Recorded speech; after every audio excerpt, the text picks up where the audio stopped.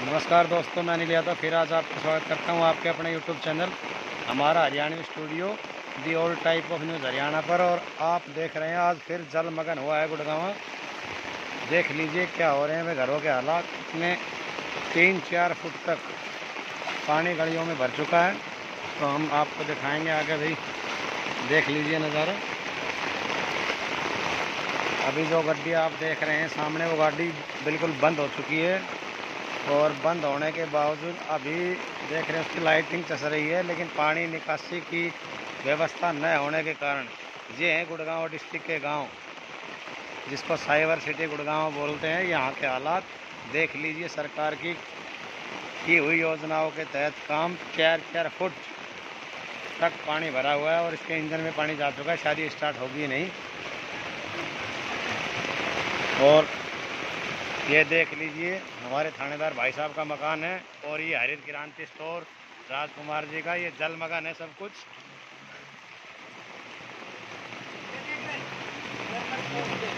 अब देख लीजिए, एक गरीब व्यक्ति का मकान है जिसमें किसी प्रकार की कोई सुविधा नहीं है। लास्ट मतलब ईंटों से रोक रखी है।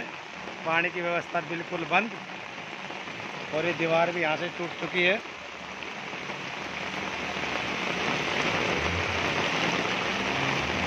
ये मजदूर मजदूरी से वापसी आ रहे हैं। इस साल की ज़बरदस्त बारिश। इस साल की ज़बरदस्त बारिश आज के दिन। और ये आ रहे हमारे भाई छोटे राजू पंजाबी। पानी में इतना ही, इनका भाई का साइज़ और इतनी होगी बारिश। अब ये है मेरे भतीजे, काले सिंह चेड़ गाँव से। काफ़ी मेहनत करते हुए पाँच फुट पानी। पाँच फुट पानी में देख लीजिए गाँव के हालात ही गुड़गांव डिस्ट्रिक्ट साइबर सिटी के हालात है भाई। मैं आपको रोड पे लेके चलता हूँ, पानी करीबन चार फुट से भी ऊँचा जा चुका है। ये पब्लिक खड़ी हुई है, ये हमारे युवा वर्ग के व्यक्ति।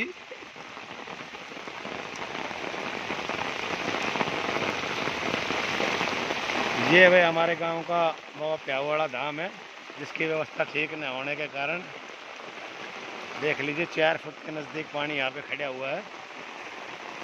और मैं दिखा देता हूँ आपको इसका सीन ये फरुखनगर ब्लॉक के हालात है भाई।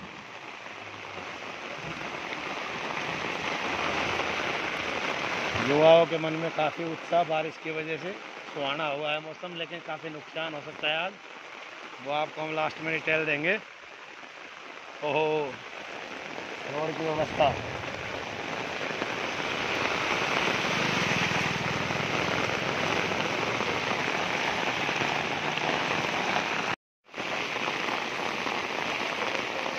अभी देख लीजिए भाई, पूरे गाँव के हालात मैं आपको दिखा रहा हूँ कि क्या क्या व्यवस्था पानी की बिल्कुल निकासी नहीं है इस गाँव फाजिलपुर में।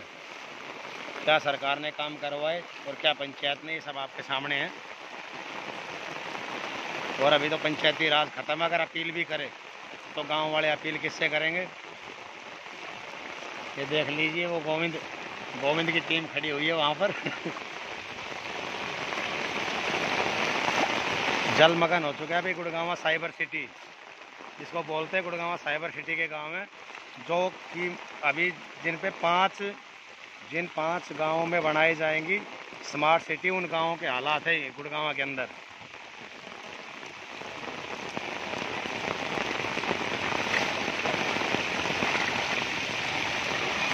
चार फुट से ऊपर पानी। पहली बारिश इस साल की, जो इतनी ज़बरदस्त बारिश है।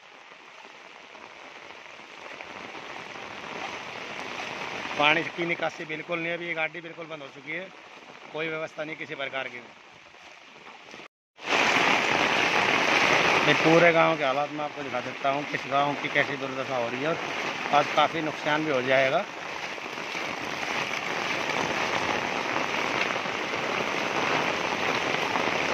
चलते रहिए मैं पूरे गाँव की व्यवस्था दिखा देता हूँ भाई। क्या क्या यहाँ पे नुकसान होने वाला है अभी।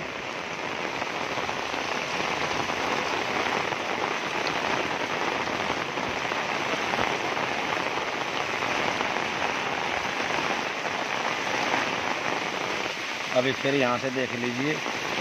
बीच में दो तीन मकानों को छोड़ के अभी पानी फिर अपने बहाव पर है। इस साइड का सीन मैं आपको दिखा देता हूँ।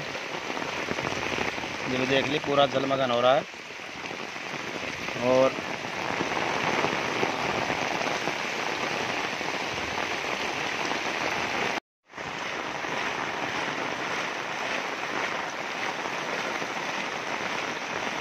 देख लो भाई, पानी की बिल्कुल भी व्यवस्था नहीं है आगे निकलने की।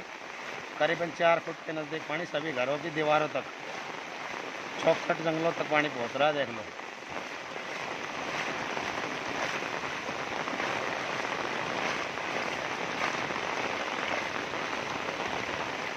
ये देख लीजिए, हमारे भाई गुलाब सिंह कितनी मेहनत करते हुए, काफ़ी सरपंच, पंचायत समिति का कार्य भाई गुलाब सिंह करते हुए कितनी मेहनत से कार्य कर रहे हैं। आप देख सकते हो, पंचायती राज खत्म होने के बाद गाँव की क्या व्यवस्था हो चुकी है। राम राम भाई।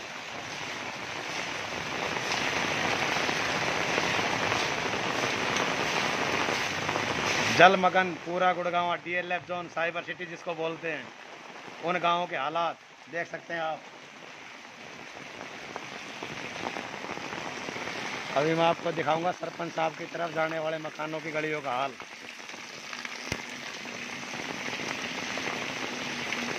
दोस्तों मैं ये कहना चाहूँगा कि मैं जो वीडियो में बार बार बोल रहा हूँ कि भाई साइबर सिटी गुड़गांव। ये साइबर सिटी गुड़गांव नहीं साइबर सिटी गुड़गांव डिस्ट्रिक्ट जो बोला जा रहा है कि डिस्ट्रिक्ट गुड़गांव जो पहली बार हरियाणा नहीं इंडिया में भी बहुत ज़्यादा डेवलपमेंट एरिया बोला जाता है। उस एरिए के गाँव की बात कर रहा हूँ मैं। ये साइबर सिटी गुड़गावा नहीं है लेकिन उस गुड़गावा डिस्ट्रिक्ट का गाँव है। प्याऊ इंद्रजीत का फ़ोन आ रहा है। प्याऊ के तो मैं आपसे कहना चाहूँगा कि भाई ये देख लीजिए जिला गुड़गावा के गाँव के क्या हालात है। जो कि ज़्यादा इतना ज़्यादा डेवलपमेंट एरिया है कि भाई आईएमटी मानेसर कुल यहाँ से 10 किलोमीटर है। कृपया सरकारी अधिकारी गाँव के प्रति ध्यान दें और अभी पंचायती राज खत्म है तो सरकार कोई प्रावधान निकाले ताकि गाँव के पानी की निकासी की जा सके।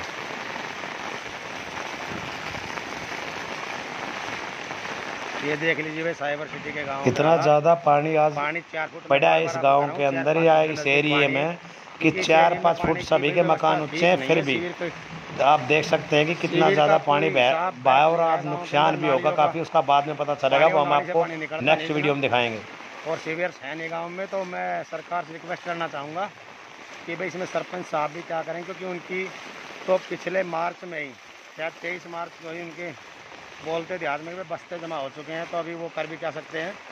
बाकी बी साहब या तहसीलदार साहब या भी अपनी सरकार के जो कर्मचारी गवर्नमेंट ने अलाउ कर रखे हैं उनके पास। अगर वीडियो पहुँचती है तो प्लीज़ इस गाँव के बारे में सोचें और यहाँ शिविर की व्यवस्था करें। अब देख लीजिए, पानी इतना है कि अगर लाइट हो तो कोई भी दुर्घटना का शिकार हो सकता है। मैं आपको दिखा देता हूँ कि मीटर कितने नीचे लगाए हुए हैं। ये मीटर की व्यवस्था कितनी ख़राब है, देख लो उस पानी से मैं चल रहा हूँ। और इस पानी में बिल्कुल ये मीटर भीग चुके हैं। अगर यहाँ पर आ जाए तो दिखा देता हूँ इस मीटर के हालात में। देखो, पानी ये है साइबर सिटी के हालात। चलो दोस्तों, अभी आपसे इजाज़त लेते हैं। वीडियो को ज़्यादा से ज़्यादा शेयर करें। जय हरियाणा, जय हरियाणवी।